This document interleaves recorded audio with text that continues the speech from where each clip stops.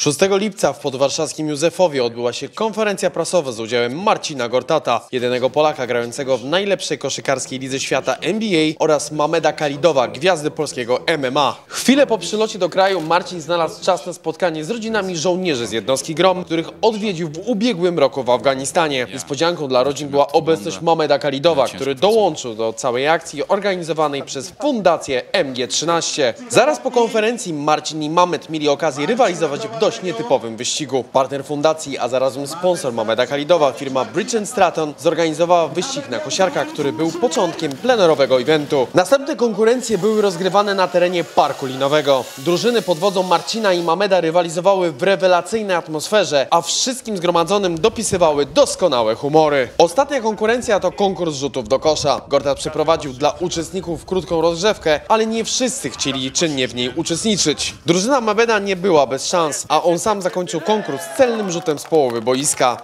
Jednak ekipa Marcina zakończyła całą konkurencję w lepszym czasie, wygrywając konkurs rzutów z pięciu pozycji. Obaj sportowcy świetnie się bawili, a atmosfera sportowej rywalizacji udzieliła się wszystkim uczestnikom. Dzięki naszemu partnerowi Briggs Stratton e, razem z Mamedem Kalidowem mieliśmy szansę dzisiaj e, pościgać się na kosiarkach, e, które zostały oczywiście przygotowane przez firmę Briggs Stratton.